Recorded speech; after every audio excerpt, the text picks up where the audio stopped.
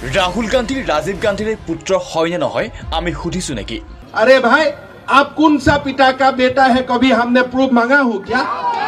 Haman কই proof মাঙা হু কিয়া? রাহুল গান্ধীর চেহারাটো কিয় সাদ্দাম হুছেইনৰ দৰে হৈ পৰিছে? লেকিন আপকা চেহাৰা সাদ্দাম হুসেন জেসা কিউ হতে যা ৰায় প্ৰধানমন্ত্ৰী সন্দৰ্ভত আপত্তিজনক মন্তব্য কৰি গ্ৰেপ্তাৰ কংগ্ৰেছ নেতা।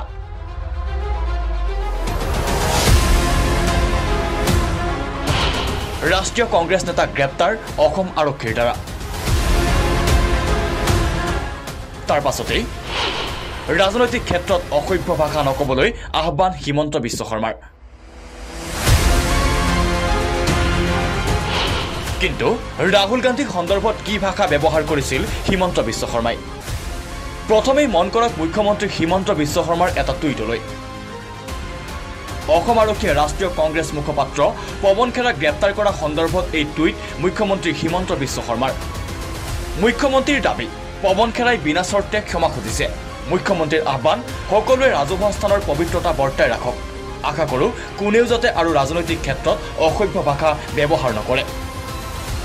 উল্লেখ্য যে হিণ্ডেনবাৰ্গৰ প্ৰতিবেদন সন্দৰ্ভত শাসনাধিষ্ঠ দলক আক্ৰমণ কৰিবলৈ গৈ প্ৰধানমন্ত্ৰী নৰেন্দ্ৰ মোদীৰ নাম নৰেন্দ্ৰ গৌতম দাস মোদী বুলি উচ্চাৰণ কৰিছিল পৱন খেৰাই পৱন খেৰাৰ মন্তব্যৰ বিৰোধিতাৰে ভিন্ন ঠাইত ৰুজু হৈছিল গোচৰ।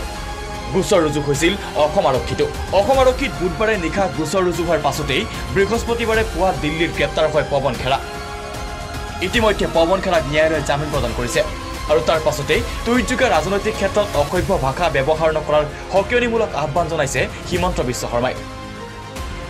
কিন্তু ৰাহুল গান্ধী সন্দৰ্ভত কি ভাষা ব্যৱহাৰ কৰি মন্তব্য কৰিছিল অসমৰ মুখ্যমন্ত্ৰী হিমন্ত বিশ্ব শৰ্মাই? বিগত বৰ্ষৰ ফেব্ৰুৱাৰী মাহত উত্তৰাখণ্ডত নিৰ্বাচনী প্ৰচাৰ চলাবলৈ গৈ হিমন্ত বিশ্ব শৰ্মাই কৰিছিল বিশেষ মন্তব্য। হিমন্ত বিশ্ব শৰ্মাই কৈছিল ভাৰতে পাকিস্তানলৈ গৈ চাৰ্জিকেল ষ্ট্ৰাইক কৰিছে আৰু ৰাহুল গান্ধীয়ে তাৰ প্ৰমাণ বিচাৰিছে। আমি ৰাহুল গান্ধী ৰাজীৱ গান্ধীৰ পুত্ৰ হয় নে নহয় তাৰ প্ৰমাণ বিচাৰিছো নেকি? পাকিস্তান মে চাৰ্জিকেল ষ্ট্ৰাইক কিয়া। ৰাহুল গান্ধী কিয়া বোলা? ভাই প্ৰুফ দেও প্ৰমাণ দেও।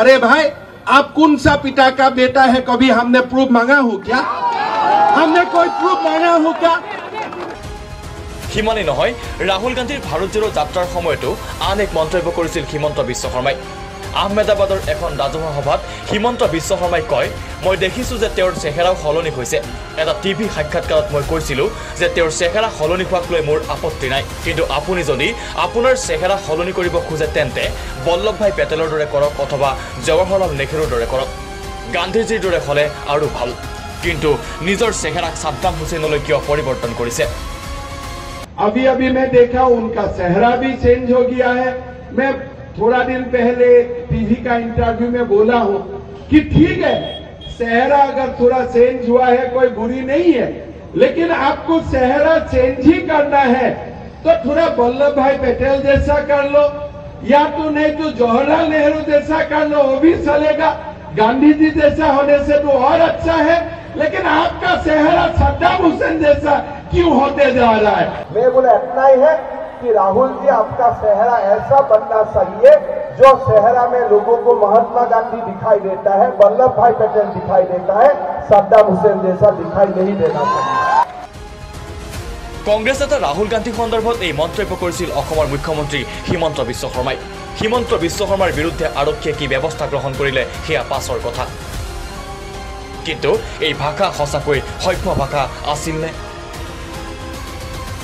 news desk report the cross current